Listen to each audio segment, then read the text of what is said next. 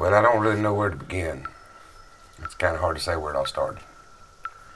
Just try your best to lay the facts down. Texas Rangers got involved and did their job. Prints matched a career criminal by the name of Brian Lee Post.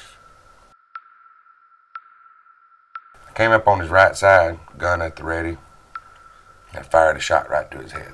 Watched him die. What I want to go back to is you. What did you go through?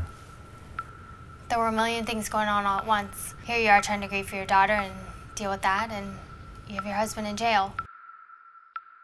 Was there a coping mechanism at all that you used to help you deal with everything?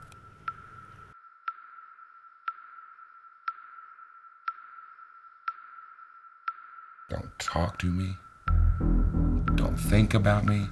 Don't ask about me. You are released from me. You can do whatever it is that you want to do.